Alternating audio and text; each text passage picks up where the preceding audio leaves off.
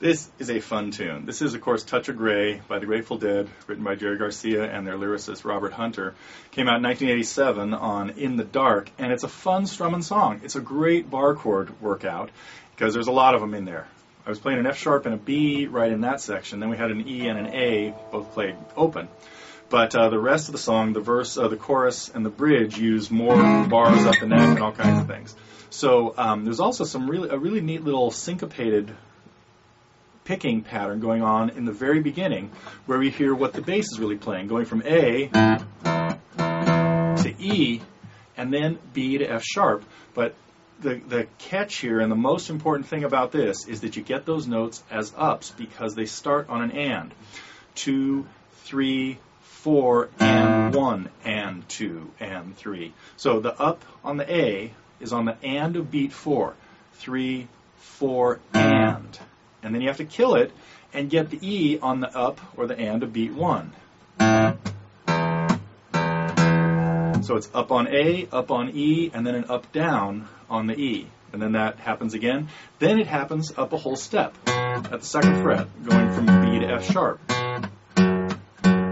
And the key again here is that your right hand has to be going down on the beats and up on the ands. You can't just randomly do it like this. Timing won't work if you if you don't pay attention to keeping your hand moving like a metronome. One of the most important things about becoming a good rhythm guitar player.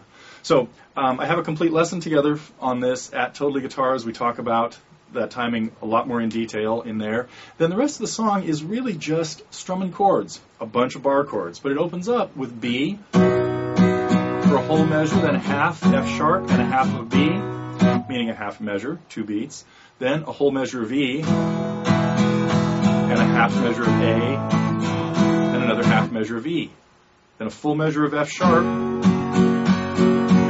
and another half measure of F sharp and a half measure of B before now it ends with two measures of E. I'll go through that one more time. So the verse just uses those four chords, and every other measure well, I guess the second, fourth, and sixth measures, are split into two chords. So we have B, sharp to B, E, A to E, a whole F sharp, then another half F sharp, it's B, and then the two E's.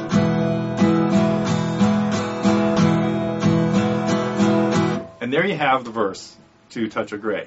Chorus uses pretty much the same same chords in a slightly different sequence, and then in the verse, uh, in the bridge, we bring in some other bar chords further up the neck, up to the fourth, even up to the sixth fret at one point. In the lesson, I also talk about the little fill that the guitar kind of does in here So all that stuff's in the lesson if you want to come over and check it out at Totally Guitars. Now we also have a whole bunch of free lessons right here at YouTube. We have our own channel, the TG Free Lessons channel. So if you'd like to check that out, there are well over 50 complete free lessons in there.